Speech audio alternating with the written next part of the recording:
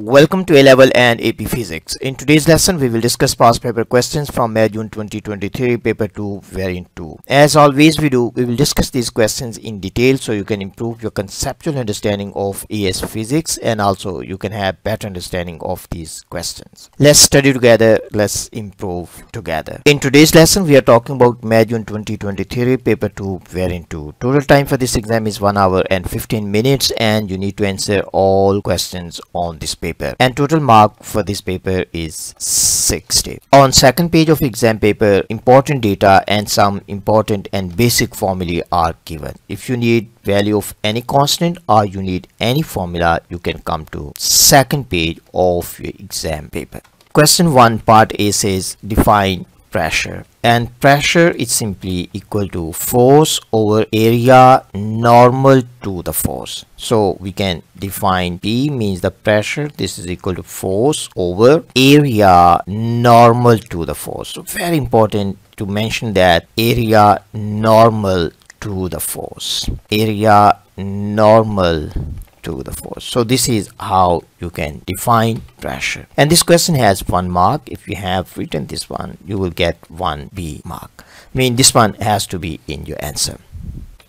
For the second part we need to use the answers from A1 to show that SI base units of pressure are kgs per meter per second square. So simply we can rewrite P is equal to F over A and force F is equal to MA divided by area normal to the surface. This is area normal to the surface. SI unit for mass we have kgs and for acceleration we have SI base unit meter per second square. And for area we have meter square. Now we can simplify this one. We can cancel this meter with this power. So we left with kgs per meter per second square. And this question also has one mark. If you have derived this one you will get one mark so this one should be the answer mark Part B says a horizontal pipe has length capital L and a circular cross section of radius capital R. A liquid of density rho flows through the pipe. The mass m of the liquid flowing through the pipe in time t is given by this equation, where P1 and P2 are the pressures at the ends of the pipe and K is a constant. Determine SI base units of K.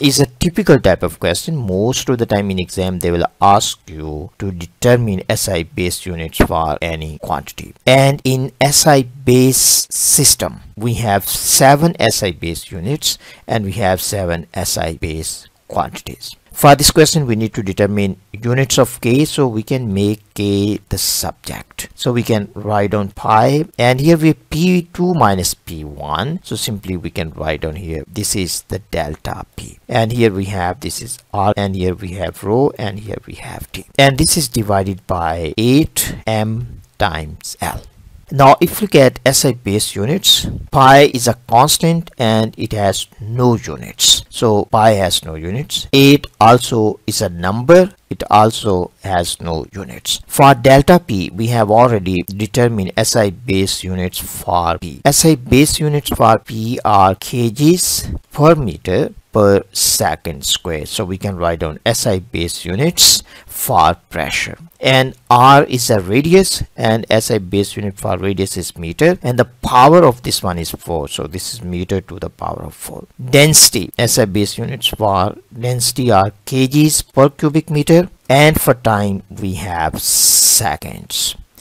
And for mass we have m is the mass SI base unit is kg and for length SI base unit is meter now we just need to simplify. First of all in this case you can see we have kg here and we have kg here. So kg kg cancel. So we left with 1 kg in numerator. So we can write on here we have 1 kg now we can look at meters. So here we have meter and this is 4 so we left with 3 here. So we have 3 here and we have 3 here. So these two they will cancel each other. So we only left m to the power of minus 1 now if you get s we have s to the power of minus 2 and s to the power of 1 so simply we have s to the power of minus 1 so these are SI base units for K. So simply you need to write down kgs per meter per second uh, simply also you can write down in this form. So this is our final answer and this question has three marks. The first mark you will get if you have written these individual units.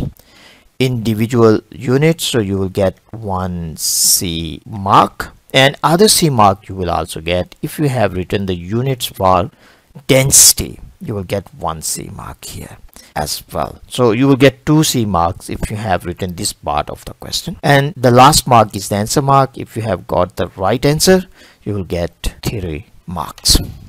Part C says an experiment is performed to determine the value of k by measuring the values of the other quantities in equation in P. The values of L and R each have a percentage uncertainty of 2%.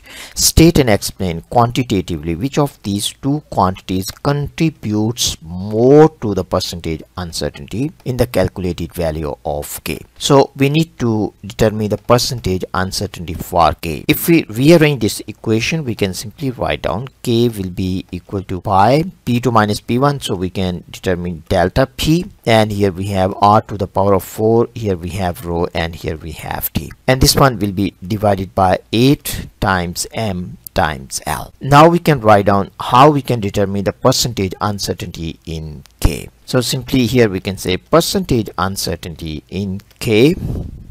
This one will be equal to percentage uncertainty in r. We can say percentage uncertainty in r but the power of r is 4 so it has to be multiplied by 4 plus percentage uncertainty in delta p percentage uncertainty in delta p plus percentage uncertainty in rho percentage uncertainty in rho plus percentage uncertainty in t. Means simply we have to add the percentage uncertainties of all these quantities together. Plus percentage 8 is a number so it should be ignored when we calculate percentage uncertainty. So we have to add percentage uncertainty in m plus percentage uncertainty in L. So if we have these percentage uncertainties, simply we need to add all these percentage uncertainties together when we need to calculate percentage uncertainty for a quantity like K because other quantities they are divided and multiplied so the percentage uncertainties have to be added. But for this question we only have percentage uncertainty for R and we have percentage uncertainty for L. So here we can write on here 4 and percentage uncertainty in R is 2% plus. Now I will be just writing this one because we don't have percentage uncertainties for these quantities. Plus we have percentage uncertainty in L. L has no power. So this is percentage uncertainty in L is simply 2% so this is 2% for L. And rest of these means this one plus this one plus this plus this as it is we can write on so simply here. We don't have percentage uncertainties for them. So if we have we can simply plug in these four percentage uncertainties here to calculate the percentage uncertainty in k. So simply we need to compare which one is contributing more to the percentage uncertainty of k. So in this case r is contributing more. So r is contributing more because this one is 8% so R is contributing 8% and L is contributing only 2% so this is R and this one is L. So simply we can say R contributes.